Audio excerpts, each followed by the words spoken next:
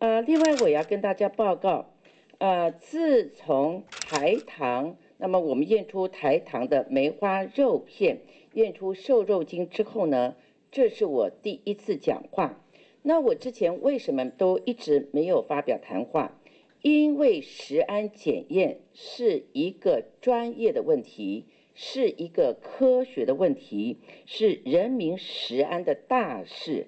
有一份证据说一分话，证据到哪里就公布到哪里。所以长期以来，我想不管是中央政府或者是地方政府，有关于食安的检验和公布。都是充分的授权食安的相关人员来进行，但是我看到这次台中市的食安人员公布了有关于台糖梅花肉片检验出瘦肉精以后，我们的食安人员被苛责、被打压，甚至有人要告他们，我非常的不以为然，所以我不得不说几句话。政府食安单位的成立，不管是在中央政府或地方政府，大家都会成立食安单位，尤其包括地方政府，大概直辖市都是一级处，表示对于食安的重视。成立食安单位，它的目的就是为了保护人民，而不是保护厂商。那么，因此有人责问。台中市政府检验出来以后，为什么要公布？为什么要公布的这么快，而不让厂商有申复的机会以后再公布？对于这样的指责，以厂商的利益为主，而不考虑到人民的权益，我感到瞠目结舌。请问，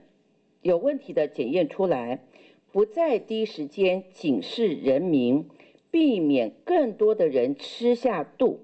还是我们要牺牲人民的健康，让民众继续吃，把它吃完，然后等厂商慢慢的申复，我们再公布呢？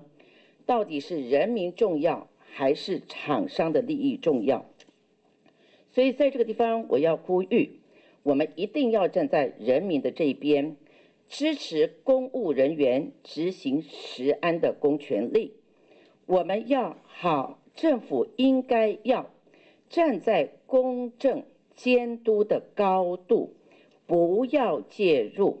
尤其对于人民的食品安全，宁严勿松，宁快勿慢，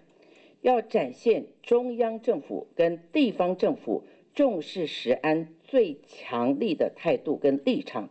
以增强人民对于政府执行食安的信心。呃，这段时间我对于我们食安处的人员他们的表现表示肯定跟支持，他们辛苦了，他们做得很好，因为他们以保护人民的食安为他们的职责，辛苦了，非常的感谢。当然，我也看到这段时间很多的人民、很多的民众表示对我们这次检验那展现出来的成果，那对于食安处的同仁纷纷给予加油打气。社会上还是人民是有公义、正义的声音啊，代表呃台中市政府跟卫生局跟食安处的同仁一并表示致谢。